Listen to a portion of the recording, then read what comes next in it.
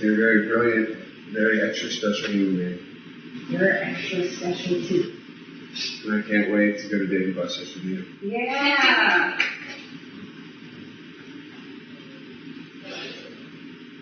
This is so hard. Yeah. Fuck you, Jack!